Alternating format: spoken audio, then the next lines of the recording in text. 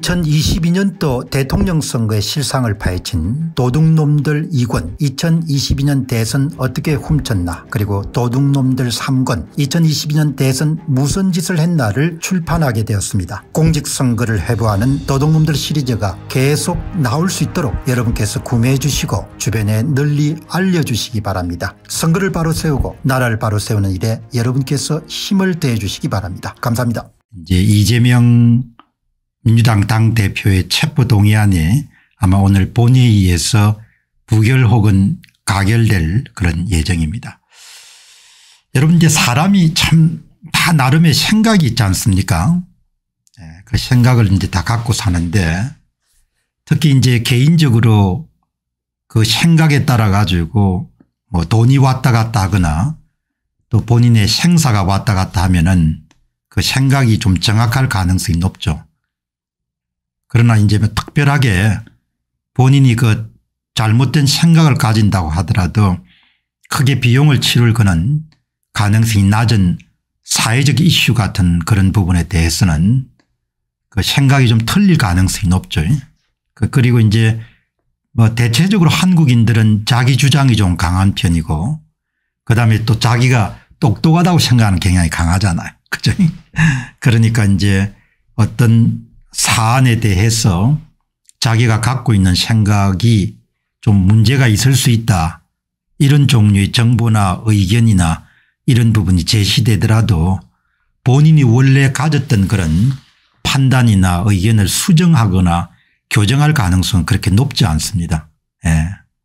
그렇기 때문에 다른 나라 사람들은 어떤지 모르겠다. 어떻든 한국 사람들은 뭐 자기가 잘났다고 생각하는 그런 경향이 굉장히 강하잖아요. 예, 그렇기 때문에 어떤 사회적 이슈에 대한 부분들의 생각을 번복할 그런 가능성이 높지 않지만 이제 얼마 전에 그 우크라이나 침공 1주기 그게 이제 2022년도 2월 24일 날 러시아가 침공한 거 아닙니까?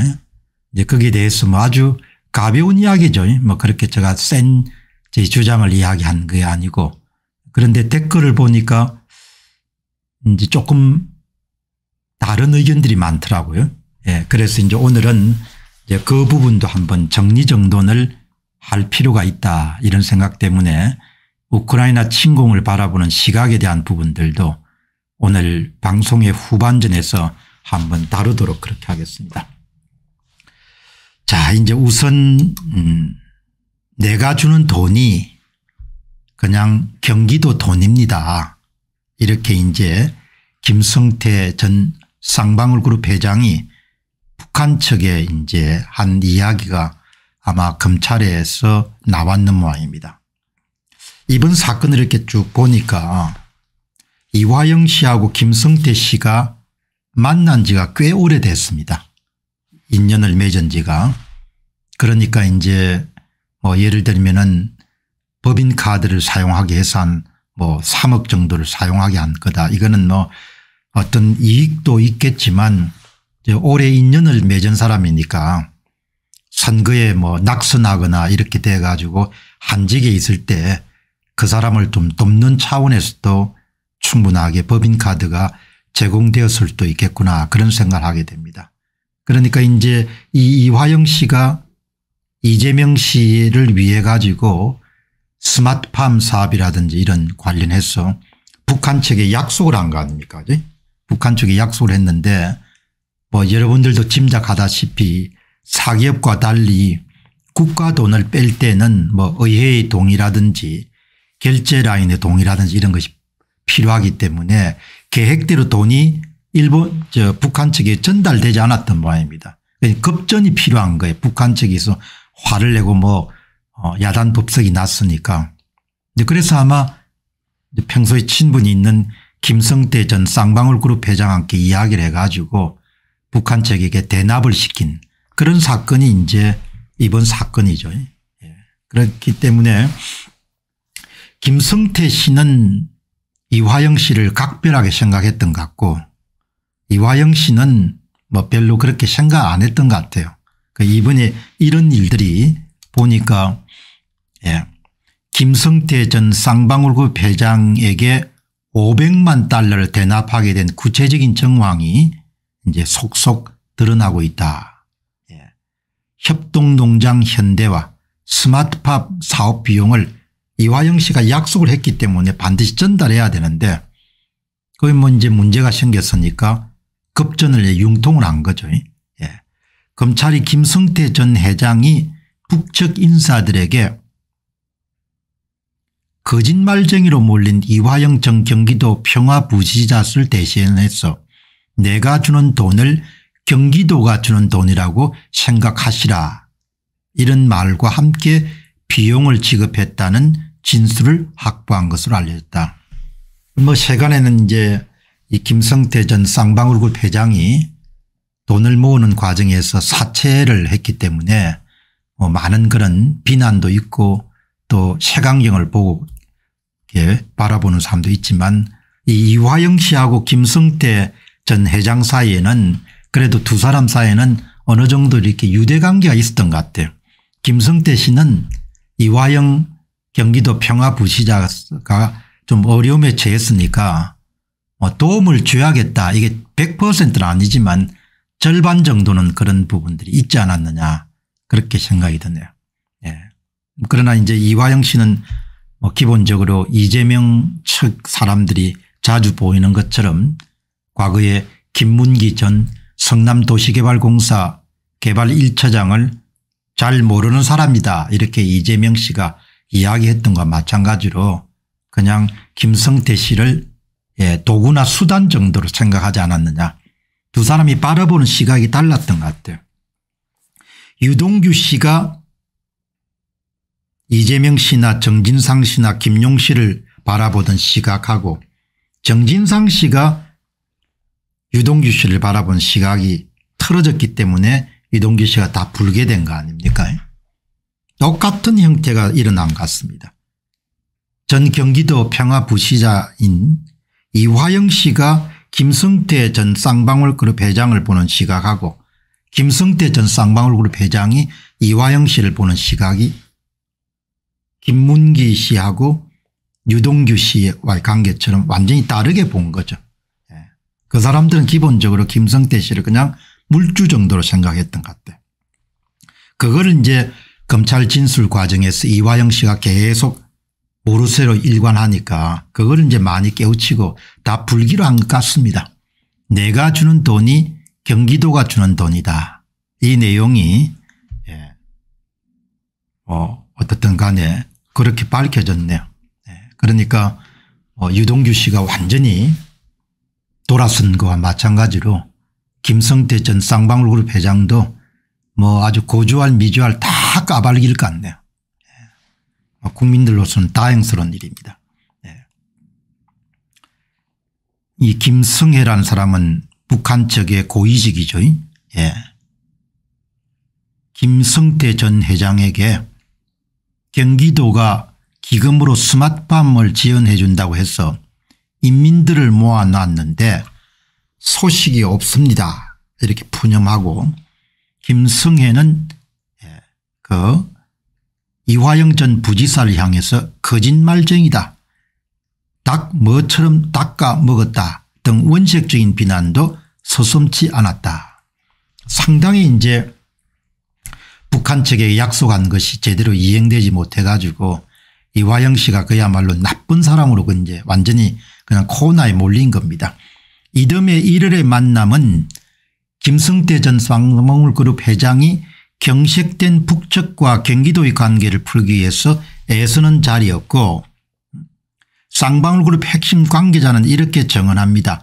김승태 전 회장이 북측에 거짓말쟁이로 낙인 찍힌 이화영 전 경기도 평화부지단을 예, 예우하란 뜻으로 북한 측의 송명철에게 이화영 부지사가 나보다 형이니까 큰형이라고 불러야 한다라고 말했고 송명철은 형이 큰형이라고 부르라고 하니 김성태조인 큰형이라 하겠소. 그렇지만 큰형이 더 잘해야 된다. 예. 그러니까 뭐 대충 이제 어떻게 돌아가는지가 나온 거죠. 그 1차 대질신문에서 큰 고함 소리를 김성태 씨가 낼 수밖에 없었던 것은 당신하고 내하고 사이가 오래됐고 당신하고 내 사이가 형아우 사이지 않냐. 어? 지금 내가 당신을 돕다가 이렇게 어려운 상황에 처했고 주변에 많은 사람들이 다 구속이 됐고 회사가 지금 기로에 섰는데 그렇게 자꾸 뭘 모른다고 그렇게 하면 어떻게 하느냐. 예? 내가 당신을 어떻게 생각했는데 당신이 내를 그렇게 대접할 수 있냐. 뭐 이렇게 이제 나온 거죠. 그러니까 결론적으로 이야기하면은 이화영 씨가 잘못한 거죠. 예. 그 쌍방울 그룹의 핵심 관계자인 A 씨는 쌍방울 그룹이 뭐라고 북한이 지방정부 보정도 없이 한국 기업이 주는 돈을 받겠습니까 이렇게 이야기를 한 거죠.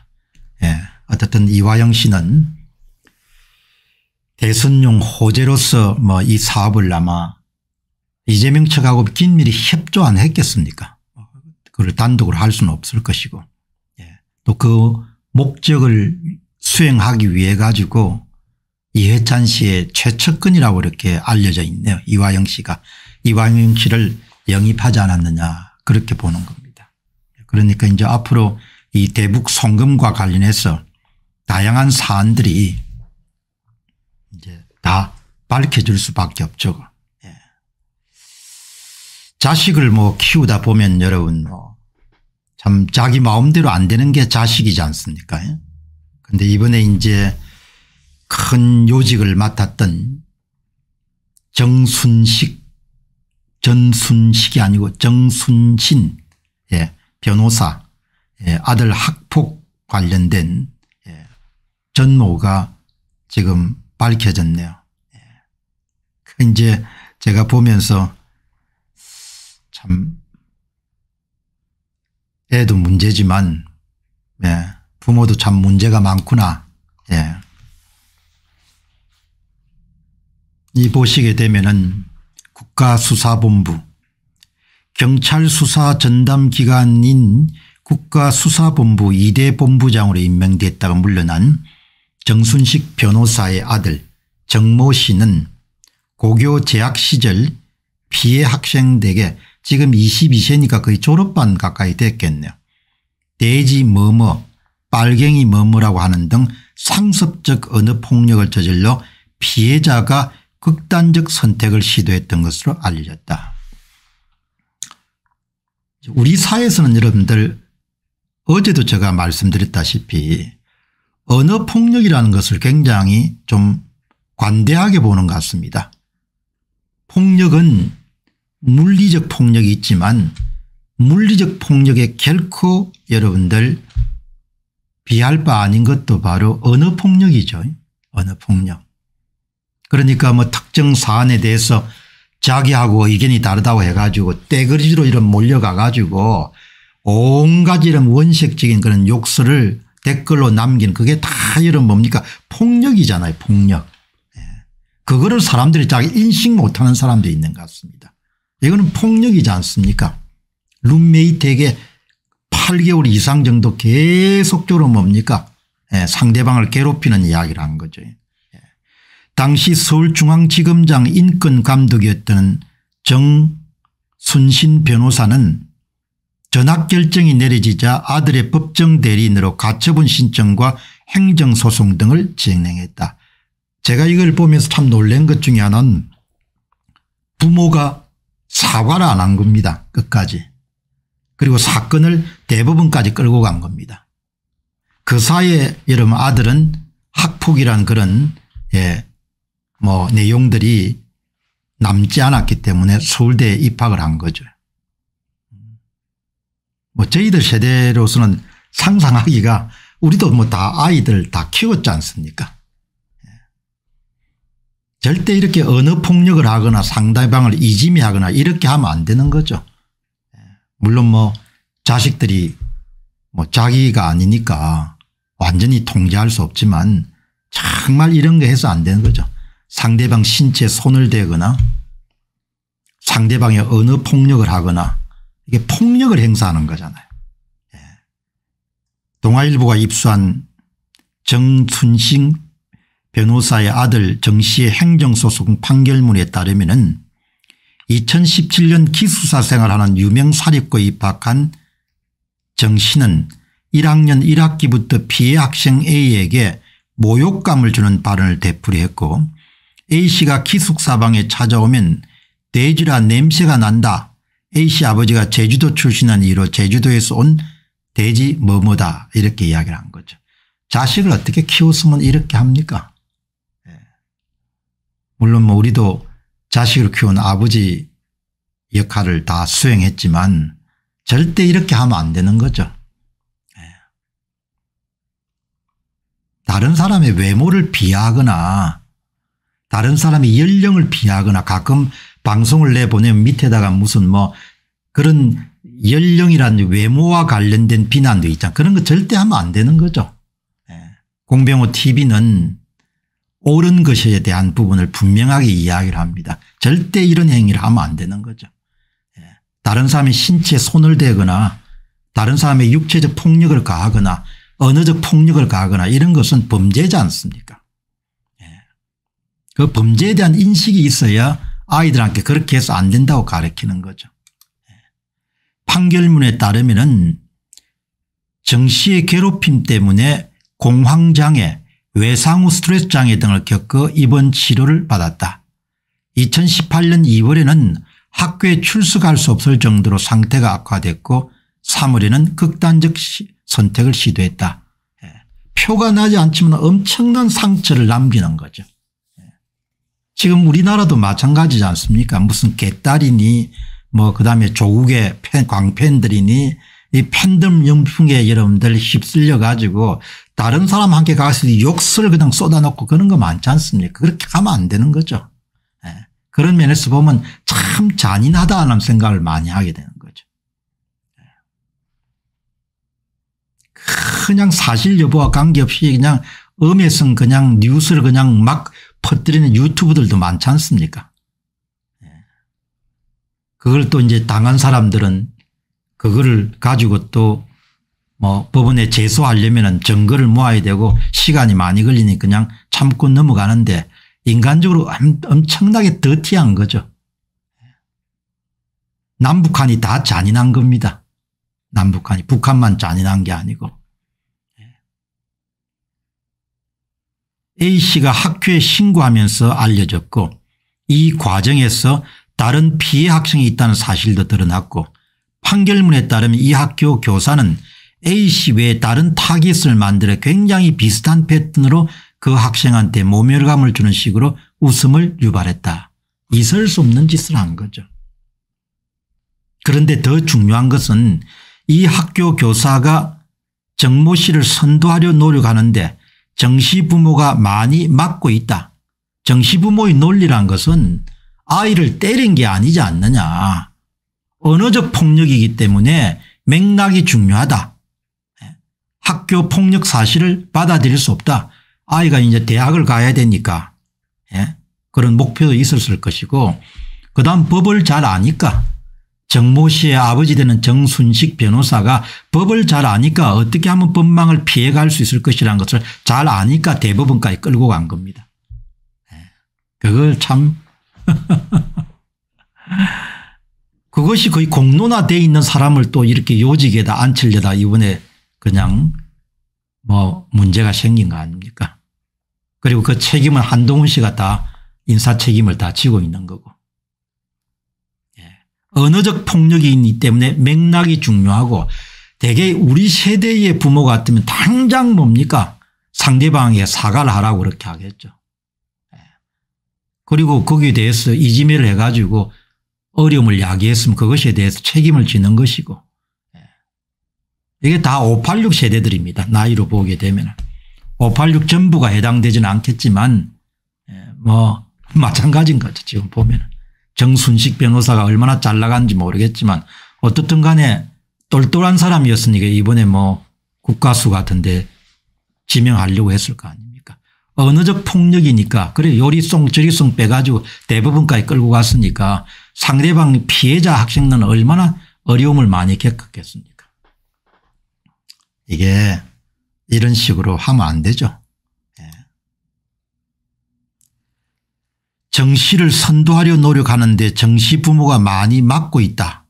이런 내용이 아마 판결문에 내용 있는 모양입니다. 언어적 폭력이니 맥락이 중요하다. 예. 해당 지방자치단체 학생징계조정위원회 재심을 청구했지만 받아들이지 않고 그 아버지가 한 겁니다. 정순식 당시 검사겠죠.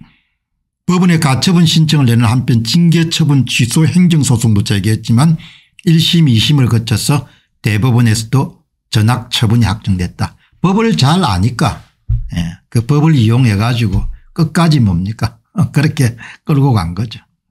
이 하나를 보면 은 아들도 문제지만 이번에 요직에 기용됐다가 탈락한 정순식 변호사도 문제가 많은 거죠. 예, 이렇게 하면 안 되는 거죠.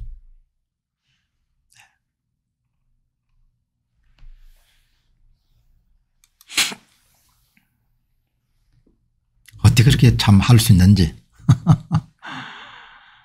자식이 밖에 나가서 그런 일 때문에 연류가 돼서 부모가 사과를 하고 빨리 수습을 해야죠. 법을 잘 알고 있기 때문에 그 법을 이용해 가지고 대법원까지 끌고 가는 그런 법이 어디 있습니까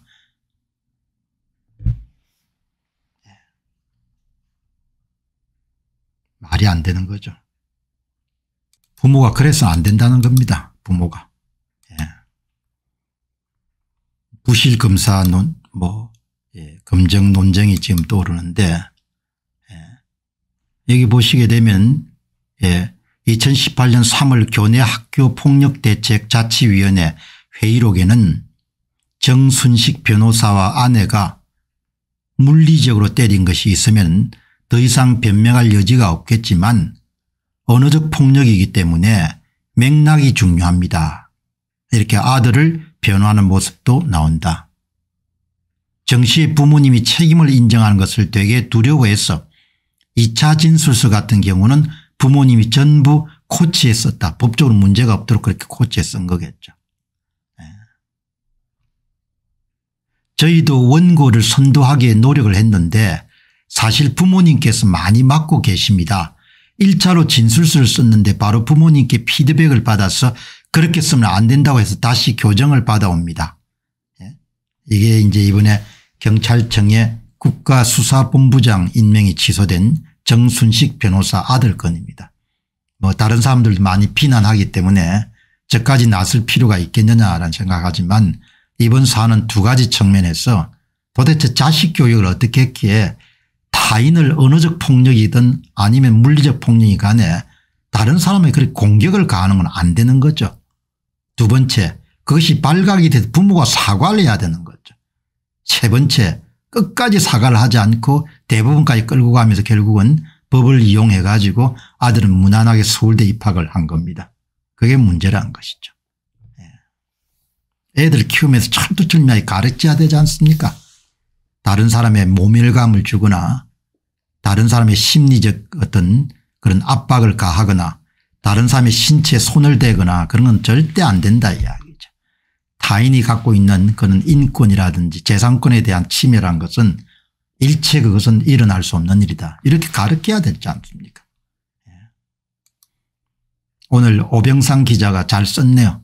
정순식 사태 소통이 악성인 이유다. 예. 이유는 예. 내막이 드러나면서 조국과 천수실이 떠오릅니다.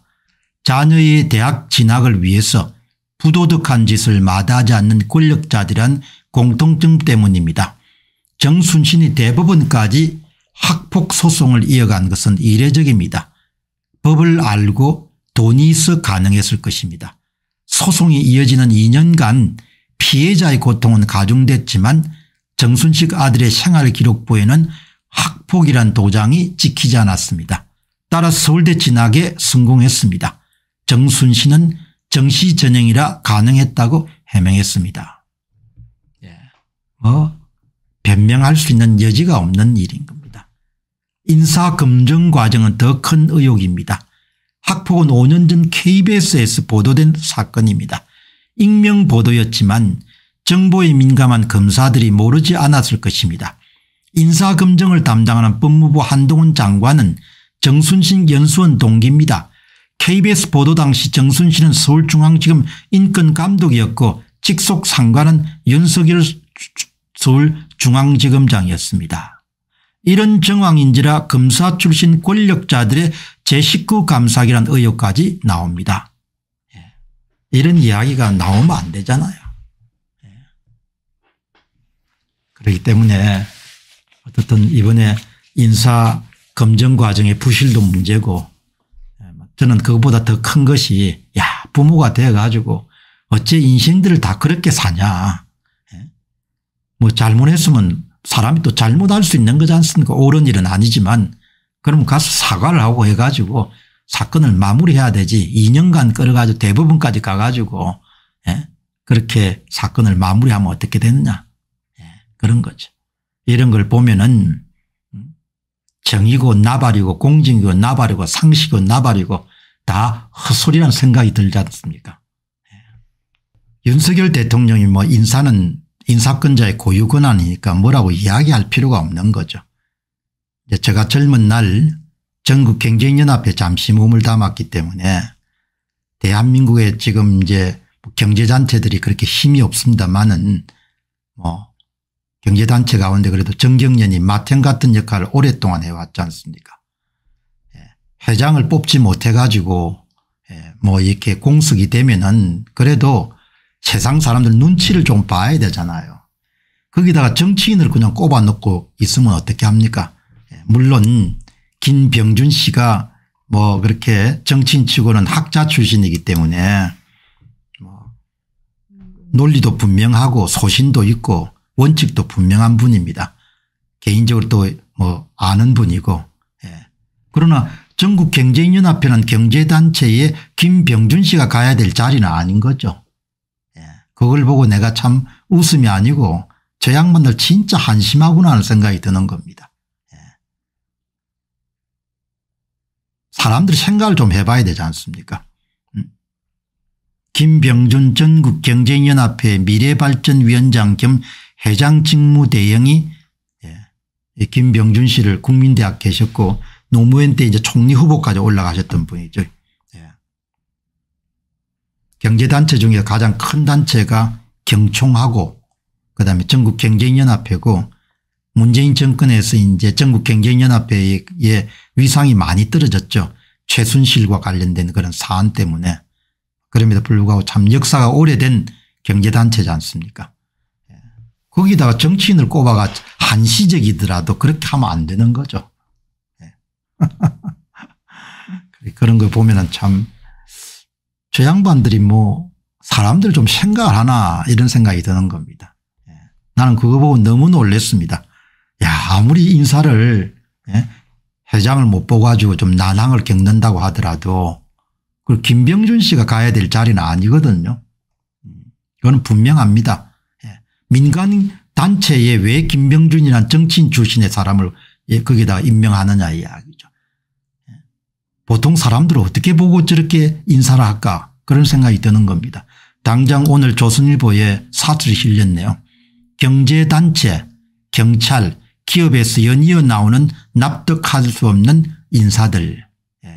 지금 KT의 뭐 인사도 잡음이 많지 않습니까 이번에 경찰 인사뿐만 아니고 국민들이 어떻게 생각할까.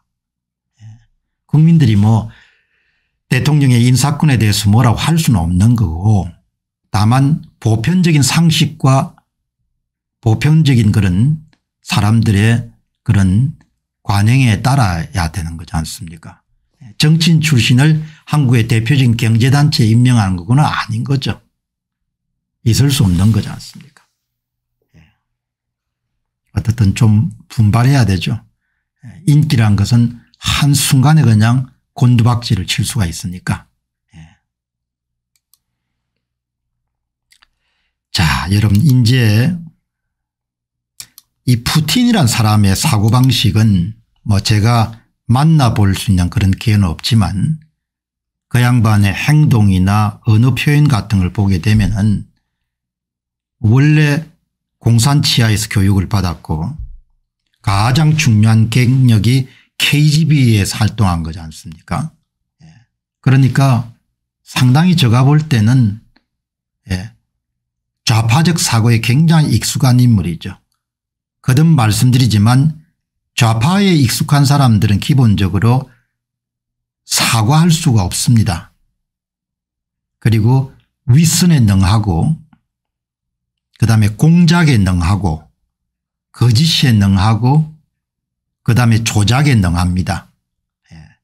자신들의 목표를 달성하는 데 필요한 모든 것은 도구나 수단으로 삼을 수 있는 것이 좌파계열의 인물들이 갖고 있는 공통된 특징이고 그것은 중국 좌파나 러시아 좌파나 한국 좌파나 다 마찬가지입니다.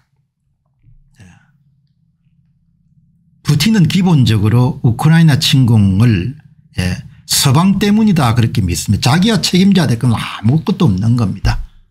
우크라이나 땅에서 수십만 명이 이름 죽어나가더라도 예, 내가 책임질 게 없는 겁니다. 그게 좌파들이 갖고 있는 전형적인 특성입니다. 선거 부정이 터져도 에? 예, 그거는 나는 모르는 일이다. 그렇게 딱 시침이 떼는 것이 그 인간들이 갖고 있는 특성인 겁니다. 그러니까 푸틴을 보게 되면 한국 좌파하고 뭐 거의 사촌지간이다는 생각이 드는 거죠. 좌파적 사고는 절대 내가 잘못했다 내 책임이다 이런 게 없는 겁니다. 예. 오늘 중앙일보의 우크라이나 침공 1년이란 데 박스 기사가 여러 개가 실렸습니다. 예. 푸틴 바닥의 패대기 우표로 나온 우크라이나 1주년 뱅크시 백화 이런 것도 나오고 예. 엄마가 러시아 폭격에 숨졌는데 그 우크라이나 자매가 푸틴쇼에 동원되었다. 예. 푸틴 나토의 목표는 러시아 해체고 우크라이나에 수백억 달러 무기를 보냈다. 수백억 달러 무기를 왜 보냈겠냐 이야기죠. 예. 자유를 위해서 도움을 준 것이고 서방 선진국들이나 자유국가들이 일부러 전쟁을 처음에 개시한 그런 사례는 거의 없죠. 나토 목표는 러시아의 해체가 전혀 아닌 겁니다. 그러니까 푸틴의 기본적인 입장이란 것은 우리나라에서 좌파들에게 자주 관찰하는 것처럼 거짓말을 하는 것이 아주 익숙한 겁니다. 예, 거짓을 계속 반복하게 되면 그게 사실도 될 수가 있으니까. 예. 서방이 도움을 줬죠. 예, 도움을 줬는데 절대 중요한 것은 그건 사실이고 나토가 추구하는 목표가 러시아 해체는 아니라는 겁니다. 예. 그러나 자기의 침략을 정당화하기 위해 가지고 이렇게 하는 거죠. 예. 뭐다 거짓말이지 않습니까? 예. 푸틴은 나토가 러시아 해체가 목표로 군사를 동맹을 했다. 그게 아니지 않습니까? 유럽의 제국가들이 각자의 힘으로 안보 문제를 해결할 수 없으니까 동맹을 맺어 가지고 예, 러시아와 같은 그런 강대국에게 맞서는 거지 않습니까 자위수단인 거죠. 예. 그러나 좌익들이란 것은 기본적으로 러시아가 인류 역사에서 공헌한 게 뭐가 있습니까 슬라브족들이죠. 예. 물론 뭐 톨소의 이 좋은 소설도 있고 뭐 그다음에 뭐, 예, 그런 발레도 있고 좋은 오페라도 있고 하지만 서유럽과 갈립 시민사회를 경험하지 않은 엄청난 폭정의 역사를 갖고 있지 않습니까 지금도 뭐 세계사의 우한 둥우리지 않습니까 예. 명분이 어떻든 이유가 어떻든 간에 예. 주변국을 그냥 무력으로 그냥 침략하는 나라가 어디 있습니까 푸틴스러운 것이고 러시아스러운 것이죠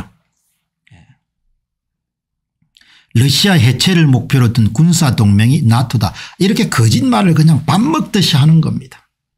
예. 영국과 프랑스 등 나토 회원국의 핵능력을 따져봐야 된다.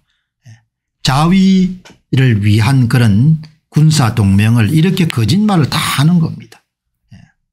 뭐 좌익들은 기본적으로 거짓말이 막 그냥 몸에 배어 있으니까 나토가 가지고 있는 하나의 목표는 러시아 연방을 해체하는 것이다. 전혀 관심이 없는 거죠. 그냥 평화롭게 살고 예, 그게 목표지 않습니까 서방이 여러분들 기본적으로 전쟁을 먼저 일으킨 나라가 어디 있습니까 전쟁은 반드시 전체주의 국가가 일으키는 거지 자유국가는 일으킬 수가 없습니다. 예, 기본적으로.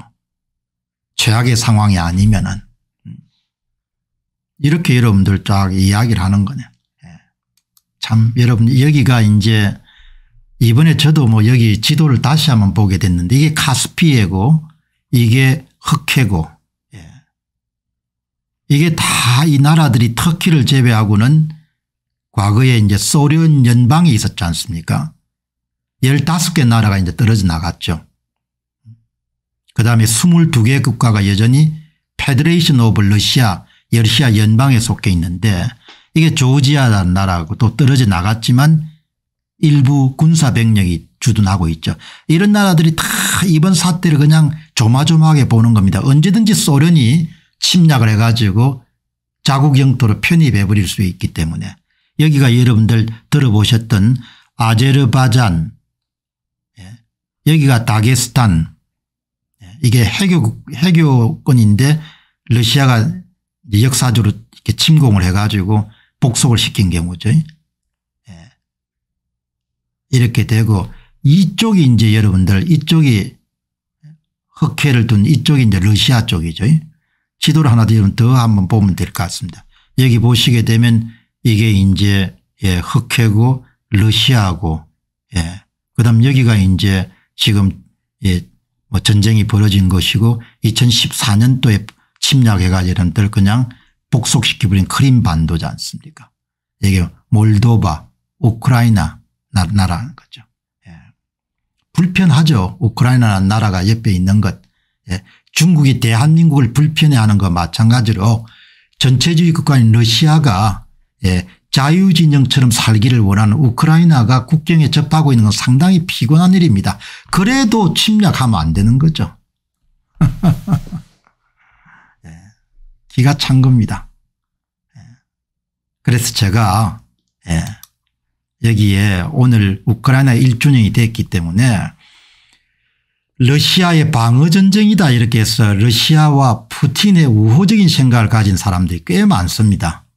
제가 어제 방송을 내보내고 난 다음에 댓글에 전부는 아니지만 일부 분들의 의견을 남겼기 때문에 오늘 역부로 시간을 내 가지고 우리가 반듯한 시각 올바른 시각을 가지고 사회 현상을 바라보는 것이 대단히 중요하다고 판단하기 때문에 오늘 이 문제를 조금 더 다루려고 합니다. 예. 올바른 관점을 갖고 세상을 보는 게 중요하지 않습니까 올바른 시각을. 러시아의 방어전쟁이다 이런 주장을 펼치시는 분들을 보면 제가 참 이해하기가 힘들죠. 그런데 의외로 그런 사람이 많고 또 그런 것을 계속해서 이제 방송을 내보내는 그런 또 유튜브 채널들이 많은 모양입니다. 예. 그래서 여러분들 이게 동변상렬을 느끼는 예, 소련 연방에 있다가 여름 독립한 조지아란 나라 산맥이 참 많은데죠. 예. 이 조지아란 나라의 사람들은 지금 이 우크라이나 전쟁을 어떻게 바라보고 있는지, 있는지 그 한번 언론을 들어가 봤습니다. 이게 오시 미디어라는 그런 우크라이나의 그런 언론인데 제법 이름이 많이 알려진 이름, 이런 모양입니다. 수천 명의 사람들이 조지아에서 우크라이나의 러시아 침공의 1주년 기념 행사로 시위를 했다 이런 내용이 나오죠. 예. 이런 내용이 나와 가지고 기사를 여러분 한번 들어가 보니까 많은 사람들이 모였습니다. 예. 뭐 수천 명의 사람들이 예. 그 트빌리시의 센터랄 그런 뭐 주요 거리에 2월 24일 날 모여가지고 예, 러시아 침공에 항의하는 시위를 벌린 겁니다. 이게 이제 우크라이나 깃발이죠. 우크라이나 깃발입니다. 예. 그 다음에 여러분들이 보시게 되면은 이게 조지아라는 예, 이제 탈, 이, 저, 뭐, 저, 피난 온 그런 우크라이나 사람들이 이 데모를 하는 겁니다. 그런 저 의회 빌딩 앞에서 예? 그다음에 여러분 이게 좀 극적인데 이 조지아의 청년들 가운데 침략당한 우크라이나에서 러시아에 대항해 싸우다가 죽은 청년들이 있는 모양입니다. 그 청년들 가운데 한 사람이 클리츠 슈코라는 청년인데 이분이 아버지 모양입니다. 예. 아버지가 이제 우는 겁니다. 아들을 위해 가지고. 그는 3월 18일 날 우크라이나를 위한 전쟁에서 죽은 겁니다. 예. 그 이런 거를 여러분들 어떤 명분으로도 나는 자주 국가를 다른 나라가 침략하는 경우를 어떻게 여러분들 박수를 칠 수가 있습니까? 예. 그런데 저희 여러분들 댓글에 다는 그 공박사님 공부를 좀 해보시기 바랍니다. 이렇게 이야기 나오는데 우리가 작은 정보들도 잘 봐야 되지만 큰 그림에서 봐야 되지 않습니까? 큰 그림에서. 큰 그림에서 러시아의 침공을 우리가 어떻게 해석할 그게 여러분들 반듯한 세계관이 있어야 그것이 보이지 않습니까 물론 이런 이야기를 한다 해가지고 무슨 뭐 신나치니 그런 우크라이나를 그냥 박멸해야 된다 이렇게 생각하는 사람들한테는 설득이 안 되겠지만 그래도 너무나 많은 예, 다양한 의견이 있기 때문에 한 번 정도는 내가 생각하는 그런 관점을 이야기했다.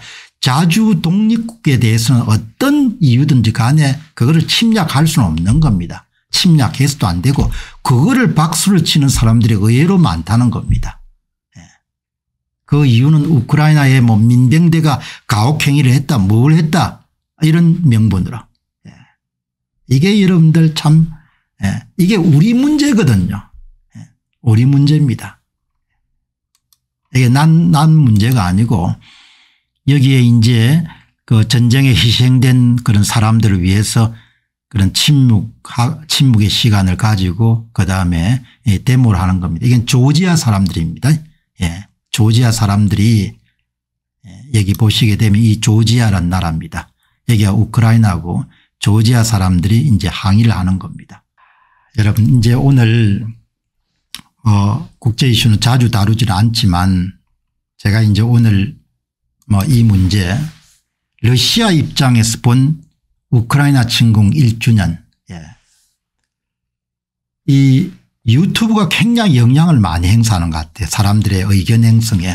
그런데 여러분 저는 뭐 거듭 말씀드리지만 국제정치를 전공한 사람도 아니고 이 카스피라든지 그다음에 흑해 그리고 구소련 현재 러시아에 대해서 깊은 조예를 갖고 있는 사람은 아닙니다. 그러나 건강한 세계관을 갖고 러시아의 우크라이나 침공을 문명사적으로는 이렇게 해석할 수 있다. 그 이야기는 지난 시간에 했습니다. 자 오늘은 우리가 오늘 이 방송을 보시는 분들도 예, 여기에 전문가가 아니고 이 방송을 지금 하고 있는 공병원한 사람도 전문가가 아닙니다. 그래서 제가 선택한 방법은 뭔가 하니까 전문가 이야기를 들어보자. 예. 아무래도 외교관들은 예, 뭐 자국을 대변해야 되는 그런 입장이겠지만 학자들 그것도 그 지역에 관한 전문가들 같으면은 좀 객관적인 이야기는 들을 수 있을 것이다. 그런 생각이 든 거죠. 그런데 마침 우리나라에도 그 지역에 대한 지역 전문가들이 있더구먼요. 이분이 이제 강윤희 교수입니다. 국민대학교 교수시고 예 이게 아마 개전 초기에 쓴 그런 글 같습니다. 러시아의 우크라이나 침공은 불가피했던 것인가 다소 러시아 입장에서 조망을 한 겁니다. 우크라이나 침략 전쟁을 이분은 이제 우리가 한번 경책에 볼만 합니다. 국민대학교의 러시아 유라시아학과 교수고 서울대에서 외교학 학사 석사를 했고 영국 글라스고우 대학에서 러시아 지역학 박사를 했고 그리고 대개 지금 나온 논문들이 아르메니아 러시아 투르크 전쟁 이런 것들이 보면 이분 이야기는 한번 경청해 볼 만하다.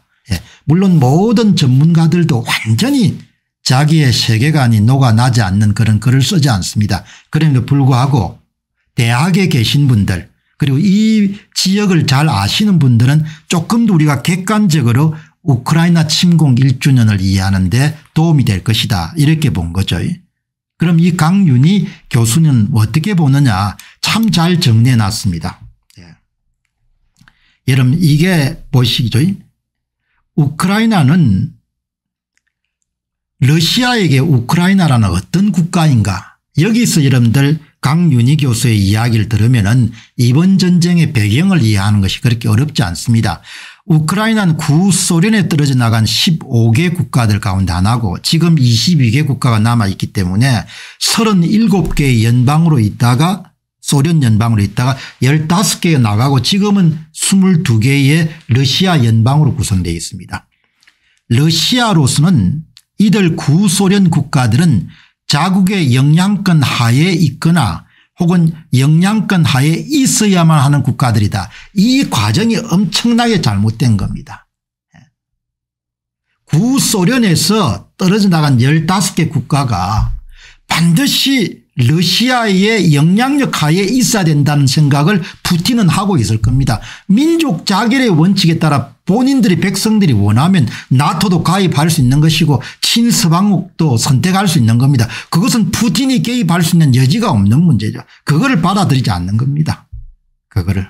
예. 여기 뭐 박상우의 문명개화가 어떤지는 모르겠는데 학자 이야기를 들어본 게 훨씬 저는 이 더 이렇게 좀 더 객관적이라 고 봅니다. 예. 지금 여기 보시게 되면은 강윤희 교수의 주장은 이 문제죠. 예. 러시아로서는 이들 구소련 국가들은 자국의 영향권 하에 있는 혹은 영향권 하에 있어야 하면 국가라고 생각하는 겁니다. 예. 더욱이 우크라이나는 흑해와 아조프의 아조프해에 접하고 있기 때문에 군사 전략적으로도 너무나 중요한 위치입니다. 그 군사 전략적으로 너무나 여러분들 중요하기 때문에 우크라이나는 반드시 러시아의 영향력 하에 있어야 된다 이야기죠. 영향력 하를 벗어난 순간 우리가 침략할 수 있다는 겁니다. 그렇게 나는 이해를 한 겁니다. 러시아에게 우크라이나는 어떤 나라인가. 예. 여기 보시게 되면은 그래서 지금 전쟁이 두 가지입니다. 무차별적으로 그냥 국가를 그냥 도력하는 겁니다. 러시아의 전쟁 목표란 것은 우크라이나가 재개할수 없는 상태까지 파괴를 해가지고 중소국가로 만들어버린 겁니다. 그 내용을 강윤희 교수가 정확하게 이름들 이야기를 합니다.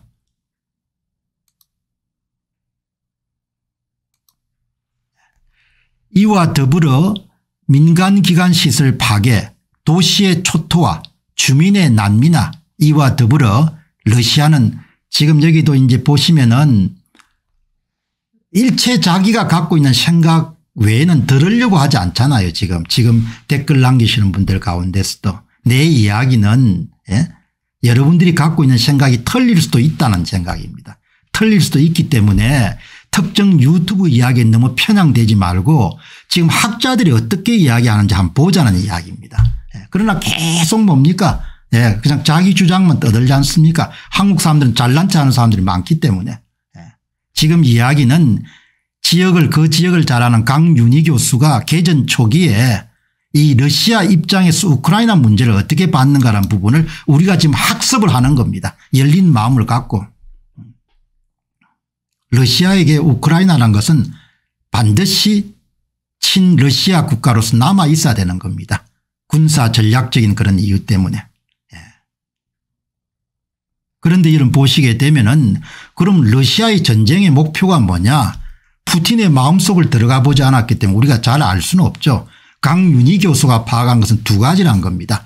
민간기관 시설을 완전히 파괴해 가지고 국가를 완전히 초토화해 버린다. 우크라이나의 초토화 우크라이나 국민의 난민화는 러시아의 명시되지 않은 숨겨진 전쟁 목표다. 예.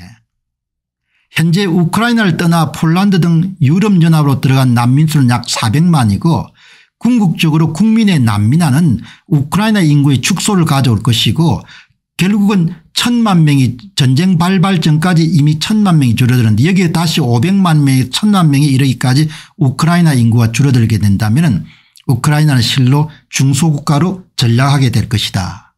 이렇게 보는 겁니다. 국가를 완전히 도록을 내버린 겁니다. 예. 왜? 예. 친러시아 국가가 되지 않으면 예, 그 나라를 우리가 용서할 수 없다는 겁니다. 예. 이렇게 여러분들 뭐 그다음에 예군사적으로 모든 걸 다 파괴를 해버리는 겁니다. 군사적으로 무력화시켜버리고 예, 그리고 난 다음에 접견 지역을 러시아의 영토로 편입하는 겁니다. 전쟁 전에 러시아 반군 세력이 돈바스 지역의 약 3분의 1만을 장악한 데 비춰볼 때 러시아군은 이번 군사작전을 통해서 돈바스 지역 전체를 완전히 장악하려고 할 것이다. 러시아는 향후 돈바스 지역에 대한 영토 병합 혹은 독립을 요구하기 위해 군사작전 2단계에 들어가 결국은 영토를 빼앗겠다는 거지 않습니까 예. 나는 예, 다른 요인들이 뭐 여러 가지 그런 우크라이나 쪽에서도 잘못한 부분도 있겠지만 그럼에도 불구하고 러시아란 나라가 자주 국가가 그냥 침략을 해가지고 영토를 빼앗고 그 국가를 초토화시켜버리겠다는 것을 받아들이기가 힘든 겁니다. 그거를 한국의 일부 유튜브나 이런 사람들이 다 여러분들 찬성하는 입장에 서 있다는 것은 정말 내가 볼 때는 이, 이, 이해가 될 수가 없는 이야기인 거죠. 그래서 나는 특정 문제를 바라볼 때 세계관을 착하게 갖고 있어야 된다 이야기죠. 민족 자결 원칙이 반드시 적용되는 거지 않습니까 자주국가에서는 20세기하고 21세기에 우리가 냉전을 경험하면서 각 국가가 자주적으로 결정할 권한을 가지는 거잖아요. 예. 그러니 내가 볼 때는 참 에? 예? 그러니까 특정 사람들의 제공하는 정보에만 지나치게 여러분들 몰입하지 말고 푸틴이란 사람이 정상인이 아니지 않습니까 문명이라는 것이 뭡니까 시진핑이 정상이 아니지 않습니까 제가 늘 강조하지만 세계 역사라는 것은 장구한 그런 흐름이 개인의 인권을 신장하고 자유를 확장하는 역사지 않습니까 시진핑과 푸틴이 자유를 여러분들 확장하고 개인의 인권을 신장하는 역사에 대열에 서 있지 않지 않습니까 그게 역사란 것을 그렇게 볼 때 한국의 좌파들도 마찬가지지 않습니까 개개인이 훨씬 더 많은 자유를 가지고 개인이 기본권을 더 많이 누리는 쪽으로 역사가 흘러가는데 그걸 자꾸 역행을 하려고 하지 않습니까 그 문제지 않습니까 예. 오늘 이야기는 이 강윤희 교수의 이야기를 제가 재해석을 하는 겁니다. 러시아 입장에서 전쟁이라는 것은 예? 그리고 결국은 강윤희 교수는 전쟁을 통해 가지고 돈바스 지역과 크림반도는 물론이고 그걸 넘어서 영토의 환량을 요구하는 것이 기본적으로 소련의 목표다 이렇게 이야기하는 거죠. 예.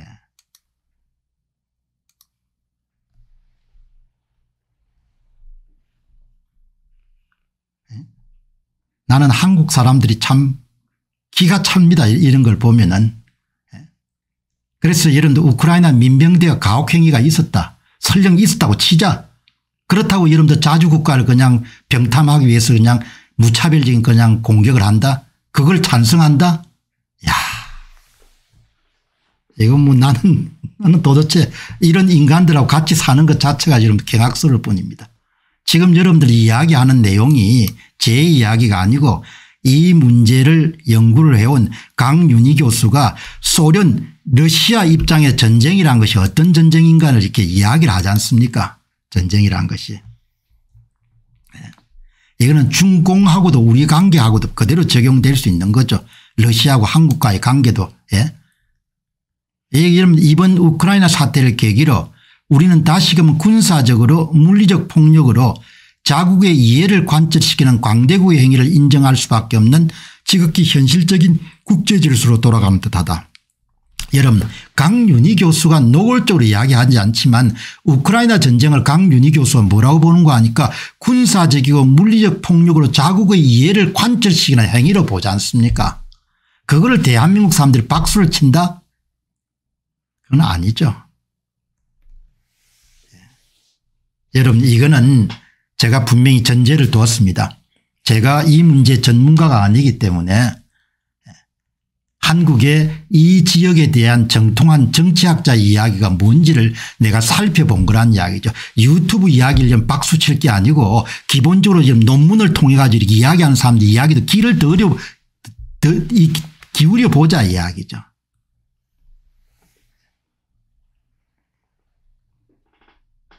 문명사라는 것이 예, 전체주의하고 대결을 통해서 계속해서 여러분들 이렇게 발전하는데 다른 나라를 그냥 여러분들이 이렇게 그냥 침략하는 거가 그게 말이 되냐 이야기죠. 예. 언론을 믿는 게 아니고 예. 언론을 믿는 게 아니고 이게 지금 강윤희 교수의 이 강윤희 교수가 언론을 이야기하는 거 아니지 않습니까 강윤희 교수가 지금 하는 논문을 내가 소개해 주지 않습니까 논문을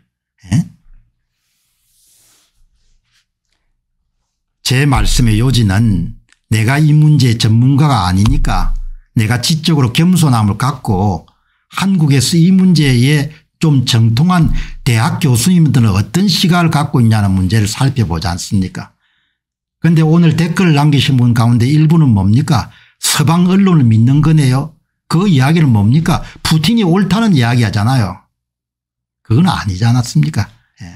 강윤희 교수 하는 이야기를 예? 이게 소련하고 이런 대한민국 관계고 중국하고 이런 대한민국 관계지 않습니까 지금 이거를 보는 시각이. 예. 공부를 많이 한다 이런 유식한 게 아니고 생각이 반듯해야 되는 거죠. 생각이. 예. 내가 하도 안타까워 가지고 여기에 나온 논문을 예, 아마 이게 동북아시아연구소에서 나온 개전 초기에 국민대학의 강윤희 교수가 쓰신 글입니다. 반듯한 생각이란 것은 학불이 이름 많다고 해서 되는 것이 아니고 생각이 반듯해야 되지 않습니까 예. 역사의 큰 흐름을 역행하는 사람이 지금 푸틴이지 않습니까 역사의 큰 흐름을 역행하는 사람이 시진핑이지 않습니까 그 사람들에게 박수를 쳐요? 그건 아니지 않습니까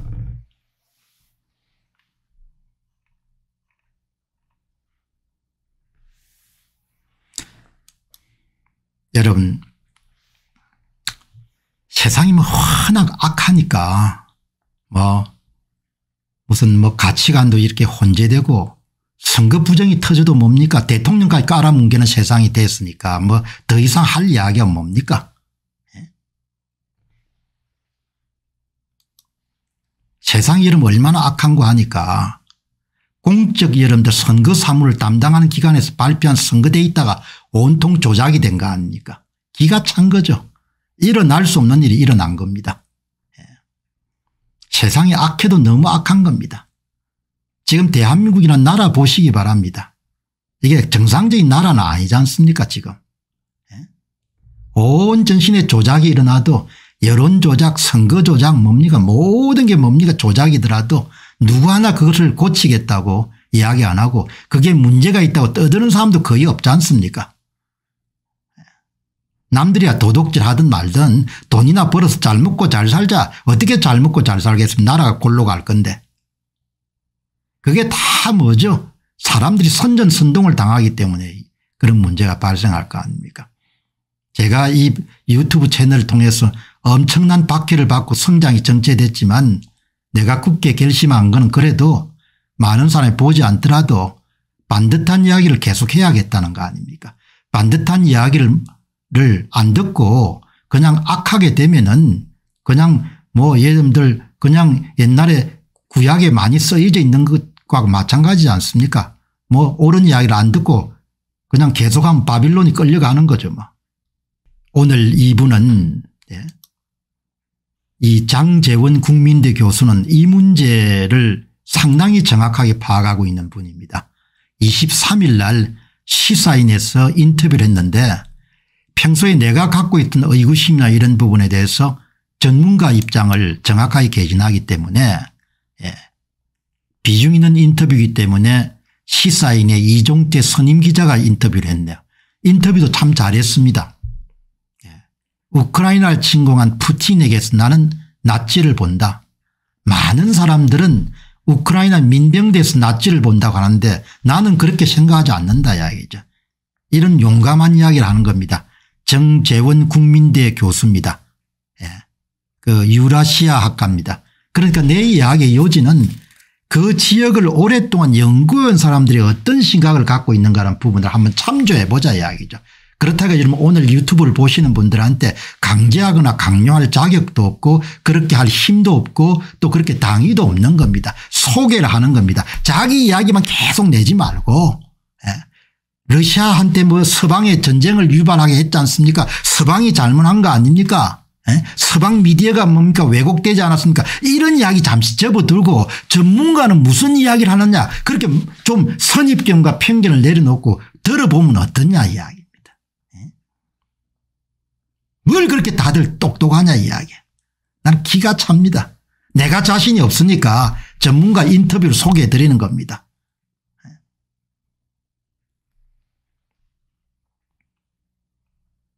이 간단하게 정리합니다.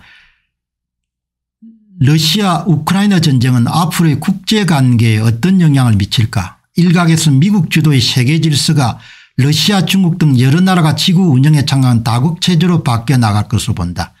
당분간 미국 주도 러시아 주도 중국 주도의 다른 질서들이 평화적으로 공존하며 글로벌 통치권을 다투게 될지 모른다. 이른바 신냉전이다. 나는 불가능하다고 봅니다. 러시아의 물적 생산력이 그걸 뒷받침할 수 없고 중국의 물적 생산력이 그걸 뒷받침할 수 없는 겁니다. 예. 이와 관련해서 러시아 동국권 전문 연구자인 예, 연구자이기 때문에 제가 소개하는 겁니다. 정재원 국민대 교수는 신냉전의 시작이 아니라 19세기 의 제국주의 식민주의적 팽창주의를 해결할 수 있다고 우려한다. 한반도가 일본 제국주의 식민지로 떨어지며 국가주권을 상실했던 그 야만의 시대가 다시 올지 모른다는 이야기다.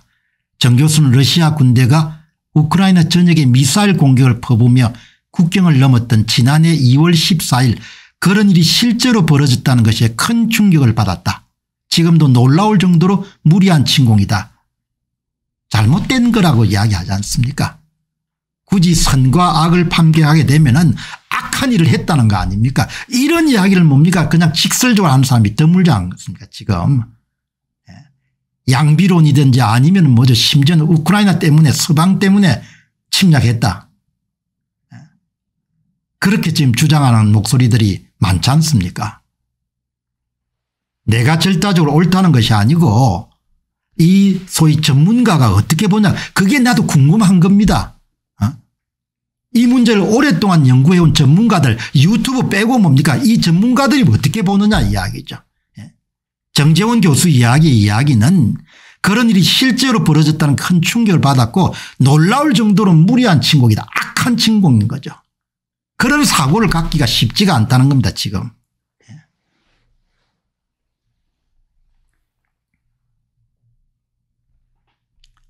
가치 판단이 명확해야 당하지 않죠. 가치 예? 판단이 명확해야 뭡니까 실수를 하지 않고 남한테 이용당하지 않죠. 국민들이 그렇게 어리벙벙하면 뭡니까 항상 남한테 이용당하지 않습니까 표를 도둑질해도 아무도 항의하지 않는 나라가 돼버린 거 아닙니까 기가 찬 거죠. 표를 뭡니까 수백만 표 도둑질 을 하더라도 아무도 항의하지 않는 나라가 돼버린 겁니다. 지하자 좋다고 사는 나라가 돼버린 겁니다. 짐승 나라죠. 어떻게 인간 나라입니까? 예. 정신이 무너지게 되면 물질도 무너지게 되는 겁니다. 예. 사람들은 물질만 가지고 이런들 초점을 맞추지만 물질이 어떻게 나옵니까? 혁신이 있고 뭐죠? 창조가 있기 때문에 물질이 나오지 않습니까? 정신이 정신에서 이름들 창조와 혁신이 나오는 거지 정신이 무너져 버렸는데 정의가 무너져 버렸는데 윤리가 무너져 버렸는데 도덕이 물러버렸는데 잘 먹고 잘 살겠다. 그거는 있을 수가 없 논리적으로 있을 수가 없는 겁니다. 오늘 여기에 국민대학교에 재직하고 있는 정재원 유라시아과 학여러분 교수님이 하시는 말씀이 예? 이런 이야기지 않습니까 이게 이게 자기가 충격을 받았다는 거 아닙니까 무리한 침공이라는 거죠. 에? 예? 그래서 선임 기자가 묻습니다. 놀라울 정도로 무리한 침공이라는 표현을 쓰셨는데 이렇게 하니까 정재훈 교수가 푹푹 전 퍼붓는 겁니다. 2차 세계대전 이후 형성된 국제 질서가 있습니다. 다른 나라의 국가 주권을 존중하고 그 영토를 침공해서 안 된다는 것입니다. 20세기 초엽에 제국주의 시대에는 서 풍미할 때는 막 침략했지 않습니까 2차 세계대전이 끝난 다음에 국제질서가 최소한 자주국가에서는 무력으로 침공하지 않는다는 거 아닙니까 러시아처럼 외국에 쳐들어가 점령한 지역을 자국 영토로 합병하는 행위는 따질 필요가 없습니다. 옳지 않다는 이야기지 않습니까 이런 유행의 전쟁은 절대로 범해서는 안 되는 금기였습니다. 소련은 물론 그 후시는 러시아도 동의했던 원칙입니다. 러시아는 침공 직전까지 우크라이나 주권 침해는 없을 것이고 전쟁 운운은 서방의 히스테리까지 했습니다. 예? 더욱이 러시아는 유엔 안전보장이사의 상임국가입니다. 이런 나라가 침공 합병에 나서으니 무리하다고 표현할 수밖에 없습니다.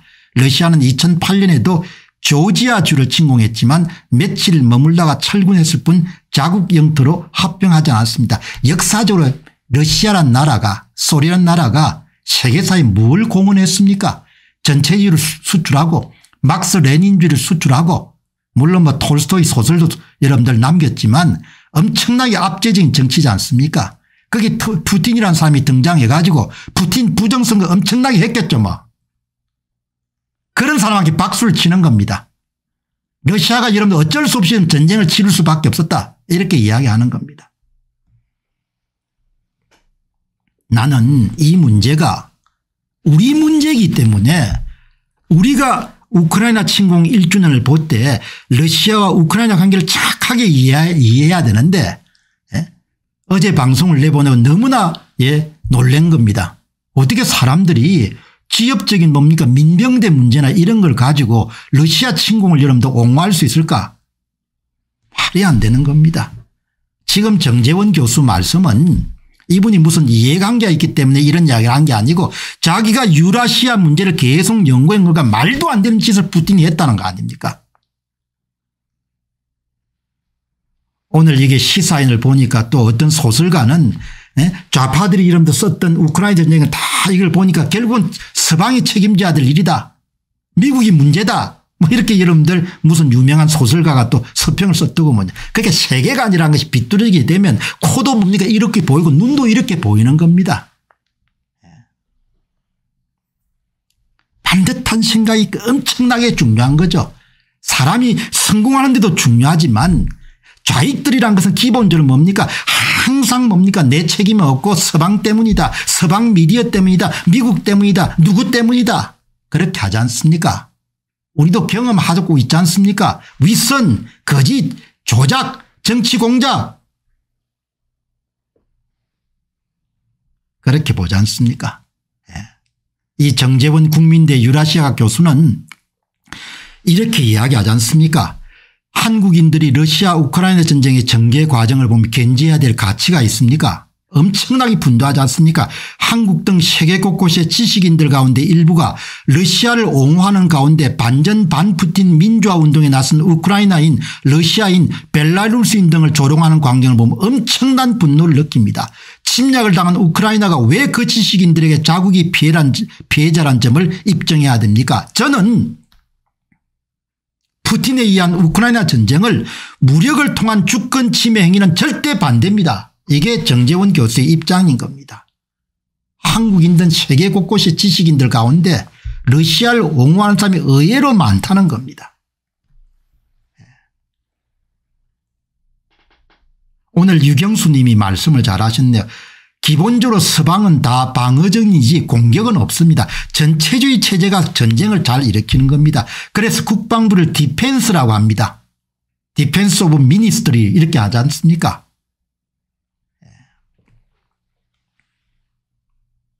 제 목소리가 인기가 없을 목소리일 수도 있죠.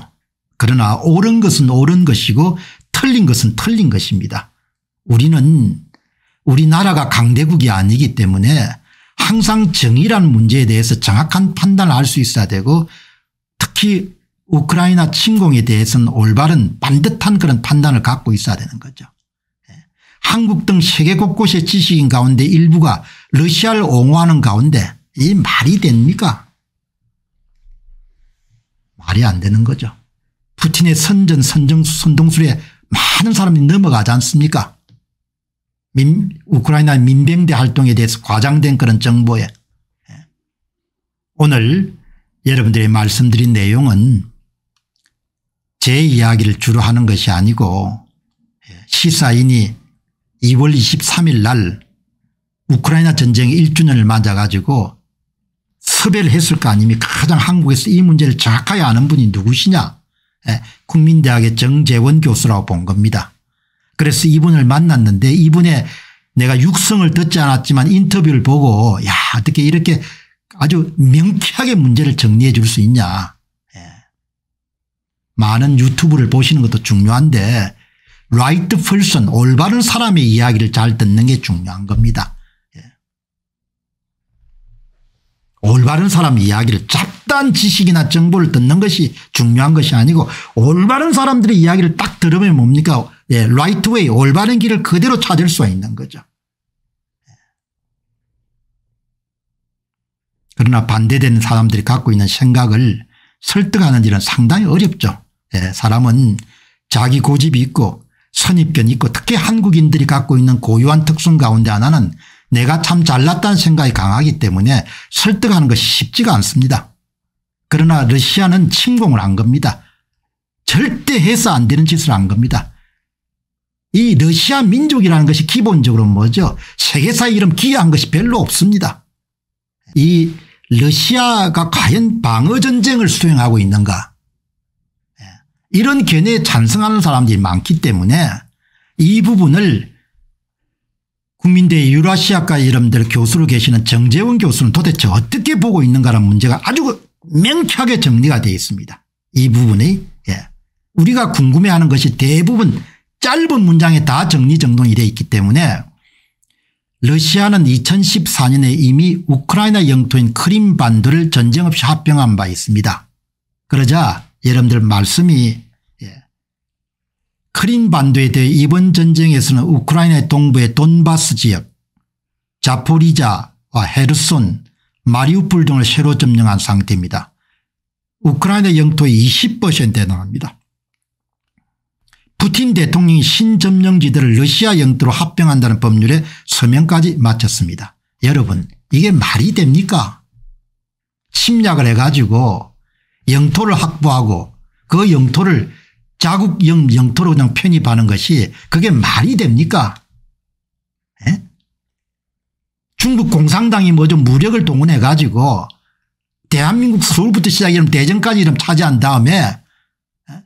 대전 이남은 너희들이 가지고 서울부터 대전까지는 우리가 가질게 받아들여 그렇게 하면 이름들 받아들이겠습니까 그런 짓을 지금 한 거 아닙니까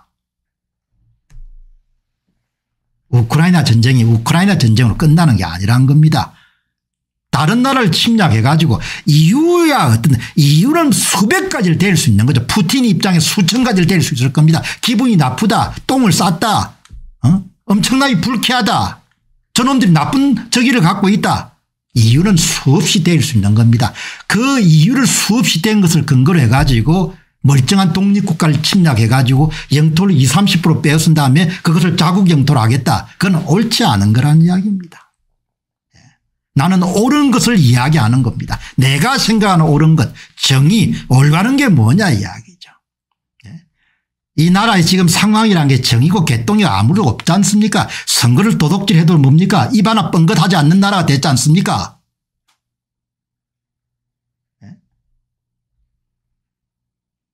그래서 우크라이나를 뭐 먹든 말든 그것이 너의 일이지 내 일이 아니다 이렇게 생각하는 사람이 있을 수 있지 않습니까 그게 우리 일이 될 수 있다는 겁니다. 예? 세상이 아무리 악하게 되더라도 옳은 것은 옳은 겁니다. 선거는 도둑질해서 안 되고 예? 선거를 도둑질한 놈이 있으면 수사를 해서 잡아 넣어야 되고 그거를 윤석열이라는 사람이 안 하지 않습니까 안 하고 나서 무슨 자유수원이 공정 정의상식이니 외치니까 웃기는 사람이지 않습니까 이 문제도 마찬가지인 겁니다. 하도 예? 댓글에다가 무슨 이상한 이야기를 쓰는 사람이기 때문에 야 세상에 악해도 어떻게 이렇게까지 악해졌냐 이야기. 남 영토를 침략해가지고 편입하는데 그거를 뭔가 박수를 치는 사람이 어디 있냐 이야기죠. 여기에 좀더 심한 이야기를 했네요. 예? 그 기자분이 선임 기자분이 러시아로서는 불가피한 상황이었다는 말이 나옵니다. 나토가 러시아 국경 바로 앞까지 확장되어 푸틴을 자극하지 않았습니까? 에? 예? 이게 많은 사람이 이렇게 생각하는 겁니다. 그러니까 여러분 정재원 교수가 나토의 동진에 항의하려면 나토 회원국을 공격해야지 왜 엄은 우크라이나를 침공합니까 왜 민간인을 죽이고 납치하고 고문함 쫓아냅니까 이미 우크라이나 에 7만 명의 사상자가 발생했고 4,300만 인구 중에 1 6 0 0만의 국내 다른 지역이나 해외에서 난민으로 떨고 있습니다. 이번 침공을 러시아의 방어전쟁이나 시각에 저는 동의할 수 없습니다.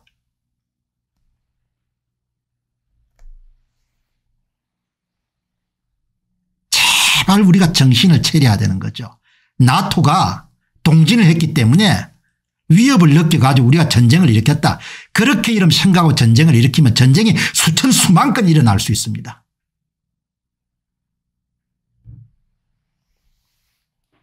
예? 전문가 분명히 야장 이번 침공은 러시아 방어전쟁이나 시각에 대해서 난 동의할 수가 없습니다. 나토가 정미웠다면 나토 회원국을 때려 공격을 해야지 왜 우크라이나를 때리나 이야기죠. 제 이야기에 대해서 좀 언짢아 하실 분도 계시겠지만 하도 세상 이름들 가치가 혼재하기 때문에 예? 유튜브들보다도 학자들이 좀 더 깊은 공부를 많이 할 거 아닙니까 예? 유튜브랑은 기본적으로 계속 시사 주제가 쏟아져 나오기 때문에 납득이나 지적 기반이 없는 상태에서 말로가 사는 사람도 많지 않습니까? 예? 그러나 학자들은 기본적으로 예? 지식의 축적이란지 좀 사유할 수 있는 힘이 더 있으니까 그 사람 이야기를 한번 들어보는 겁니다. 이 사람들은 어떻게 이야기를 한다.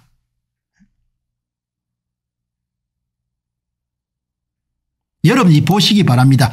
러시아 측 침공에 대해서 우크라이나 정부가 탄압하는 돈바스 내 러시안을 보호하기 위한 것 이것도 이 아주 많은 사람들이 이야기하는 겁니다.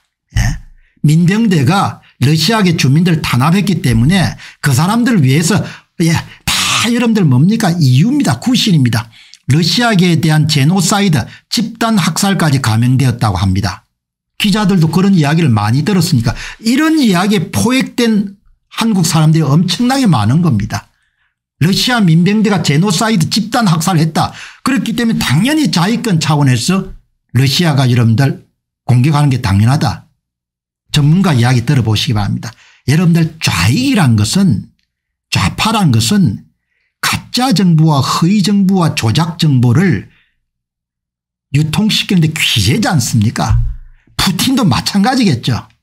언모, 계략, 정치 공작 얼마나 능하겠습니까 주 경력이 KGB 요원이었는데 2018년 예? 돈바스 전쟁 도네츠크와 루안스크의 친러 세력이 우크라이나로부터 독립을 선포한 뒤 우크라이나 정부군과 충돌하여 발발한 전쟁 러시아군이 친러 세력지 돈바스 전쟁 이후 8년 동안 이 지역에선 줄곧 국지전이 벌어졌습니다.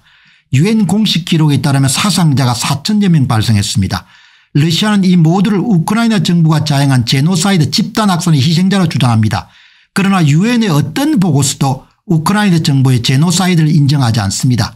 양측이 상대방을 포격하는 과정에서 희생된 군인, 민병대, 민간인 숫자를 모두 합친 것이기 때문입니다. 지금 이 주장 우크라이나의 민병대가 돈바스 내 러시아인들을 많이 죽였다. 이것 때문에 러시아가 당연히 뭡니까 자유권 차원에서 우크라이나 전쟁을 일으켰다 이런 정도에 녹아난 사람들이 상당히 많다는 겁니다. 댓글도 보면 참 지금도 계속 그런 댓글을 올리신 분이 계시네요. 예. 이 그러니까 이 정재원 교수가 구시대 사람이란 이야기죠. 예. 러시아 측이 주장한 그러니까 오늘 다른 사람 다른 이야기를 하고 있는 다른 생각을 뭐 믿고 싶어 하는 사람을 내가 설득할 뭐 재주는 없습니다. 뭐 그렇게 믿고 살다 가는 거죠. 예, 그러나 나는 내가 옳다고 생각하는 바를 전문가 의견을 인용해가 소개하는 겁니다. 예, 그러니까 뭐 이게 관계없다는 생각하는 사람들은 들을 필요가 없는 거죠. 예, 러시아 측이 주장한 침공 명분 중 하나는 우크라이나의 탈나치와 누가 보다를 웃기는 이야기입니다. 우크라이나 정부가 나치란 이야기인데 제렌스키가 유태인이지 않습니까 침공을 정당하게 한 과장입니다. 정확하게 이야기하지 않습니까 이런 정보에 녹아난 사람이 얼마나 많습니까 예? 우크라이나의 탈나치와 전쟁 명분으로 이런 푸틴이 내세운 거지 않습니까 좌익들은 항상 이런 뭡니까 예? 오늘 한 분이 무슨 좌익이 없다 아, 좌파적 사고로 무장한 인간들이 우글우글 하지 않습니까 대한민국도 우글우글 하지 않습니까 그 인간들이 뭘 잘합니까 조작 잘하고 위선 잘하고 예? 그 다음 뭐합니까? 남한테 덮어씌우기 잘하고 좌익이 여러분들 머리 머리빵에 여러분 난 좌익이다 이렇게 붙이고 다닙니까? 그렇지 않지 않습니까? 머릿속이 좌익적 사고로 이럽니다. 좌익적 사고를 가지고 이름들 선거를 다 도둑질 하지 않습니까? 눈에 보이는 것을 벗어나서 못 보면은 그런 평생 고생할 수밖에 없는 거예요. 정재원 교수 말씀이 침공을 정당하기 화 위한 과정입니다 루티, 푸틴이 전쟁을 일으키기 위해서 명분이 있어야 되니까 우크라이나를 탈라치하겠다 그렇게 내세운 그 정보를 다 녹아난 겁니다. 예? 21세기 들어 유럽 전역에서 나치류의 강경민족주의 성향이 만연하고 있습니다. 우크라이나도 그렇습니다. 그러나 우크라이나 이런 흐름은 유럽에서 가장 늦게 시작되었고 그 정도가 역시 가장 낮은 편입니다. 예컨대 프랑스에서 네오나치로 불리는 마린 르펜의 국민전선이 성공적으로 제도권 정치에 진입했습니다. 우크라이나의 극우 정당들은 크림반도와 돈바스 일부를 빼앗겨 반르 국수주의 감정이 분출한 상황에서도 참패를 면치 못했습니다. 우크라이나는 2차 대전 당시 나치로부터 가장 큰 피해를 당한 지역입니다. 일부 현상을 과장해서 우크라이나 측이 나치라서 침공당했다 주장한 것은 침략자에 대한 맹목적 동조일 뿐입니다. 이런 것에 녹아나는 사람이 너무 많은 겁니다. 이런 것을 퍼뜨리는 유튜브 채널들도 너무 많은 겁니다. 일부 현상을 과장해서 우크라이나 측이 나치라서 침공당했다고 주장하는 침략자에 대한 맹목적 동조일 뿐입니다. 이렇게 이용을 당하는 겁니다. 이런 식으로 뭡니까 그냥 기만을 당하는 거죠. 용감하게 이름 정재훈 교수가 실상을 이야기하지 않습니까 우크라이나의 탈라치아가 우크라이나 전쟁의 명분이었다는 침공을 정당하기엔 푸틴의 과장일 뿐이다. 잘라서 이야기하지 않습니까 예. 그렇다면 돈바스 전쟁 당시 민병대로 결성되어 지금은 우크라이나 정규군에 편입되어 있는 아조프 연대는 어떻습니까 아조프 연대는 창설 당시 나치로 자처했습니다. 러시아 측은 당시 이들의 외신 인터뷰나 영상자료 등을 우크라이나 나치아의 증거로 사용하고 있습니다. 아조프 연대는 돈바스 전쟁 발발 당시 러시아의 고향을 빼앗긴 우크라이나 동부 지역 주민들이 결성한 민병대입니다. 서북 청년당 비싼 거죠. 초창기에 소속원들이 나치식 경례라거나 잔혹한 전쟁 범죄를 저지른 경우가 분명히 있었습니다. 그러나 2014년 말 우크라이나 정규군의 편입대 확대 개편되면서 아제프 연대 내부에서 일어난 사상투쟁을 거치면서 극단주의자들이 다 쫓겨났습니다. 우크라이나 정부로서는 바보가 아닌 이상 정규군의 납치를 두면 곤란하지 않겠습니까 그러나 러시아로서 아조프 연대의 존재가 우크라이나의 나치아를 우길 수 있는 좋은 터짓거리가 된 겁니다. 초창기에 아조프 연대 관련 자료들을 끊임없이 제시하는 겁니다. 계속 여러분들 언론에 공개를 하는 거죠. 그리고 나치라 불리는 세력의 특징을 기준으로 논하면 지금의 러시아가 훨씬 나치나 국가 파시즘 같은 특성을 보여주고 있습니다. 수많은 사람들이 체포되고 전쟁에 반대하는 이유만으로 15년형까지 선고받고 투옥되고 있습니다. 이것이 나치가 아니고 무엇이겠습니까 예. 여러분 우크라이나 예, 젤렌스키 대통령이 서방의 꼭두각시다. 서방의 대리전을 한다. 그렇게 이름 이야기하는 사람들이 많은데 대리전을 그렇게 열심히 합니까? 예? 여러분 1년 이상 그 강대국의 마수가 총을 드는 우크라이나 사람들 보시기 바랍니다. 한반도에 그런 일이 일어나면 우크라이나인들처럼 우리도 여러분 결사항전하겠습니까? 천만의 말씀입니다. 자국민이 뭡니까 그렇게 열심히 나라를 지키기 위해서 나선다는 것은 그것이 꼭두각시 전쟁이 아니라는 겁니다.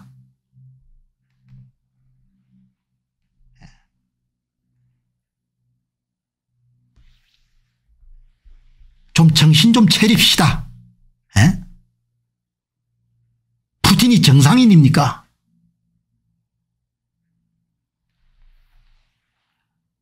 여러분들 그 우크라이나 지금 그걸 실상을 알려게 되면은 영어 방송입니다. 만한 유튜브 채널에서도 우크라이나의 현지를 사사시 훑으면서 우크라이나 사람들이 인터뷰하는 걸 많이 보지 않습니까?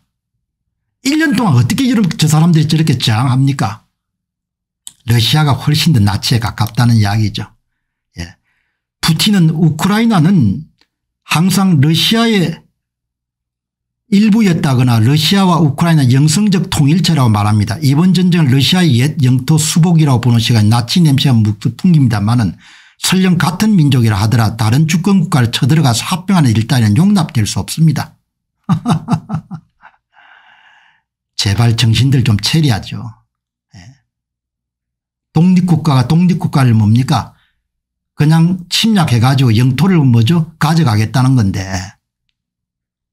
그거를 뭐죠 어떤 이유로 용납이 되겠습니까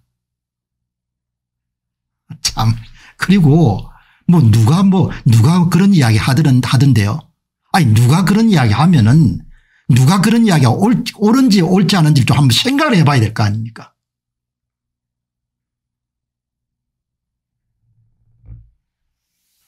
내 이야기는 내가 자식들 키우면서도 항상 네 생각이 뭐고 니는 어떻게 생각하노 에? 네 생각이 없으니까 평생 여러들 뭐죠 이용당하지 않습니까 자기 생각이 없으니까 사람이 이런 짐승하고 다른 게 뭡니까 자기 생각을 가지는 거지 않습니까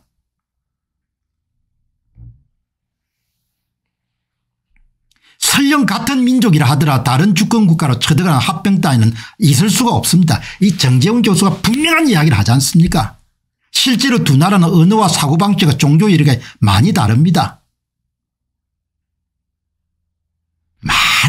좀 생각을 좀 해야 될 거 아닙니까 응? 우크라이나가 항상 러시아의 일부였으니까 말이 되는 이야기입니까 원래 뭡니까 슬라브 여러분들 국가의 출범지란 것은 키예프의 키우지 않습니까 순으로 따지면 우크라이나가 먼저죠.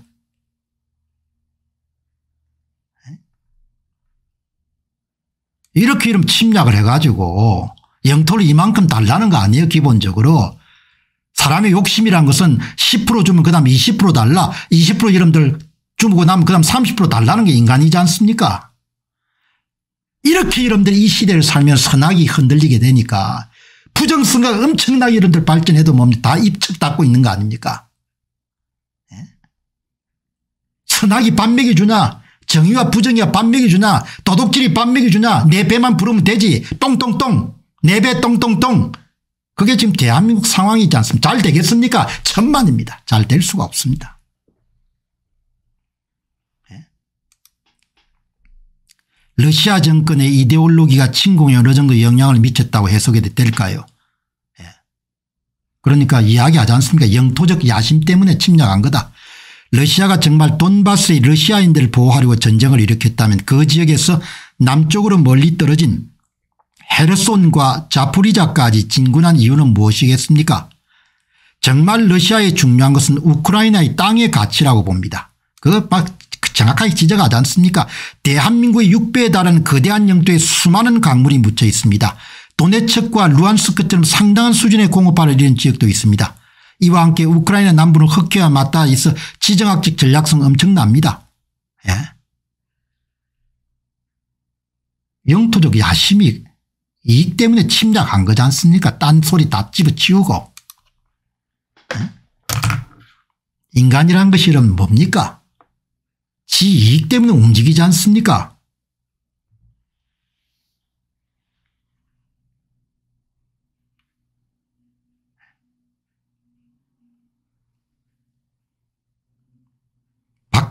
박학다식이 중요한 게 아니고 여러분 거듭 말씀드리지만 박학다식이란 것은 잡다한 지식이 많은 것가 중요한 것이 아니고 사람이 올바른 시각과 관점을 갖고 이런 세상을 살아야 논평도 정확해지는 겁니다. 정치 논백이 이런 박학다식하다 해가지고 여러분들 유식한 게 아니고 관점이 정확하게 쓰여야 정확한 논평을 하는 거죠. 예? 이게 뭐 척하면 삼척이지 않습니까 남으니까 전쟁 일으킬 거 아닙니까 뭐가 남는 겁니까 정재훈 교수 정확하게 이야기하지 않습니까 땅덩어리가 욕심이 나기 때문에 다른 걸 다 포장한 거 아닙니까 그걸 안을 뚫어볼 수 있어야 되는 거죠 예? 고생 뭐 할 수밖에 없어요 어리석음은 예. 푸틴의 우크라이나 침공 목표는 뭐였습니까 최대 목표는 전력을 장악한 뒤 괴뢰 정권을 세우거나 러시아 연방으로 편입시키는 것입니다.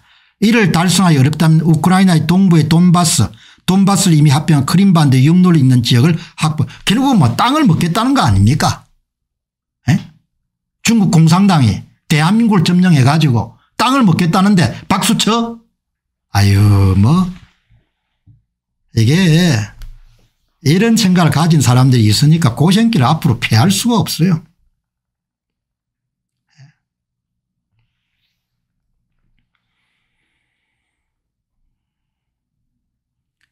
말이 안 되는 겁니다. 아.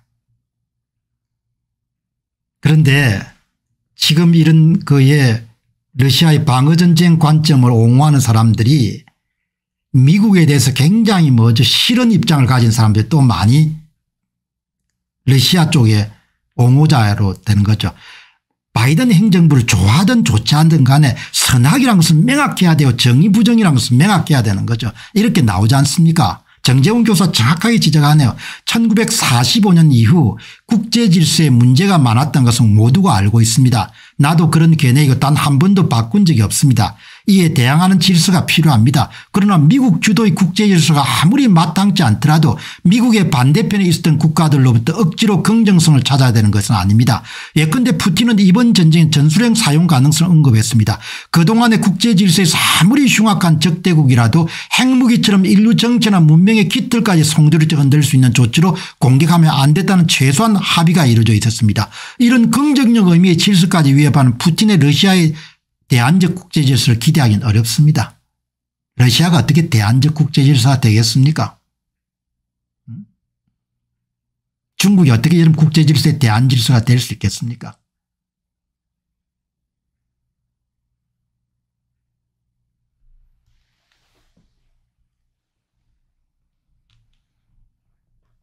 그러니 자신들 좀 체리하죠.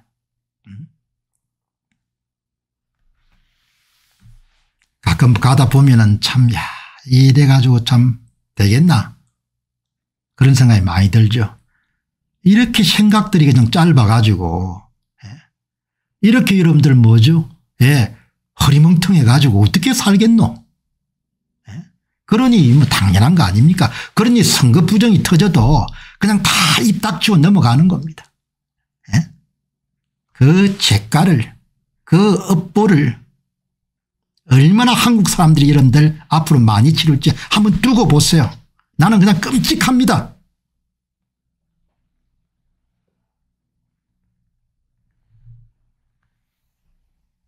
예.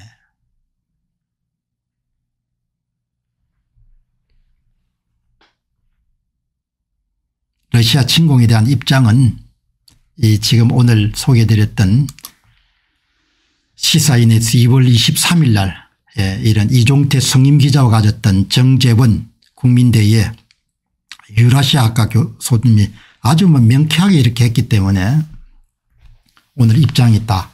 거진 정리가 되고 이제 뭐 다른 이야기 할 필요가 없을 것 같습니다. 저는 의견을 소개를 했으니까 그걸 받아들이는지 아니면 뭐 러시아 쪽에 계속 서가지고 뭡니까 방어전을 옹호하든지 큰알았으면 결정해야 될 사안이죠. 대한민국 공직선거의 문제점을 파헤친 첫 번째 책을 펴냈습니다. 제목은 도둑놈들 일권 선거 어떻게 훔쳤나 2017년 대통령 선거로부터 2022년 대선과 지방선거까지 전산 조작을 이용해서 후보별 득표수를 어떻게 조작했는가를 낱낱이 분석한 책입니다. 선거를 바로 세우고 나라를 바로 세우는 일에 여러분께서 힘을 더해 주시기 바랍니다.